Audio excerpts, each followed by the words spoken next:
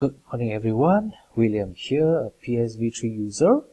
Already now I'm bringing you uh, US stock market outlook for tonight. Okay, as you can see, this is the latest PSV3 indicator, which is the US stock indicator. And we'll start off today and see the Alibaba. Okay, I'll be using the daily chart to see, okay, because the market is not open yet it will be tonight. Okay but then as you can see here Alibaba itself have turned from red to yellow. KSI green.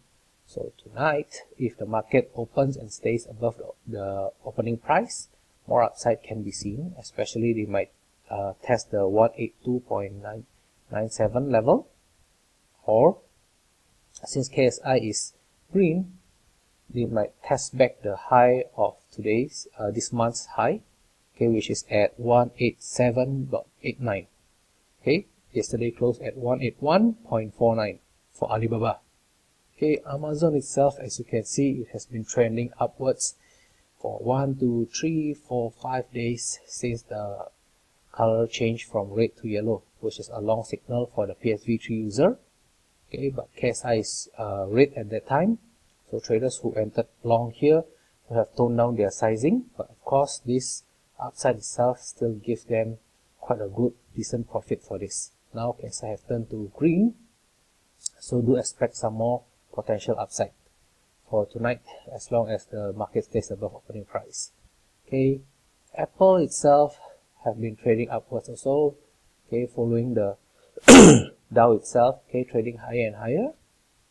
Okay this month uh, new high yesterday was yesterday we went to a high of 188.09 a but then as you can see KSI there is neutral for yesterday.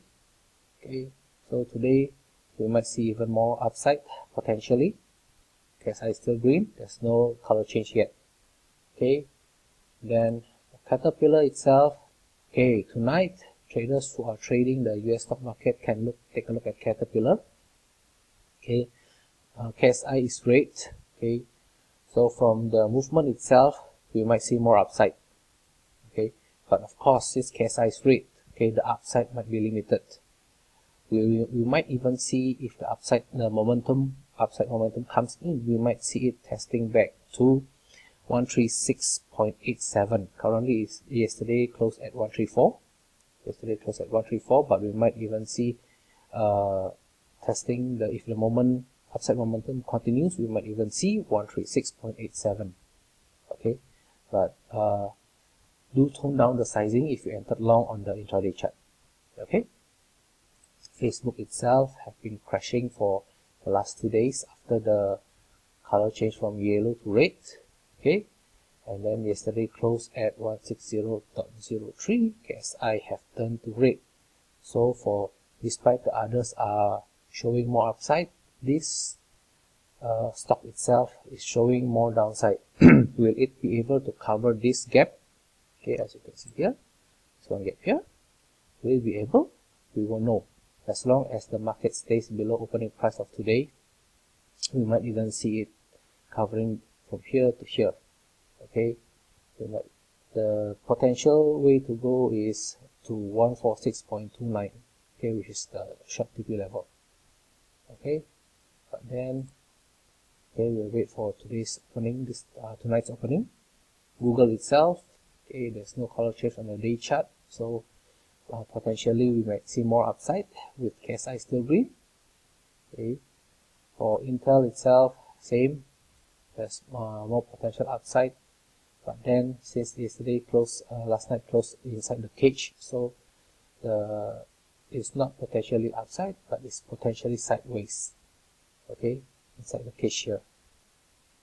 KSI is still green. Okay J&J itself yesterday tested the cage and recovered okay but then there's a red here. There's no color change. KSI is green. So tonight still concentrate on the short side for the J&J okay Microsoft itself itself uh, still concentrate on the long side. KSI green okay nothing no color change yet on the day chart Netflix itself as you can see yesterday it went high.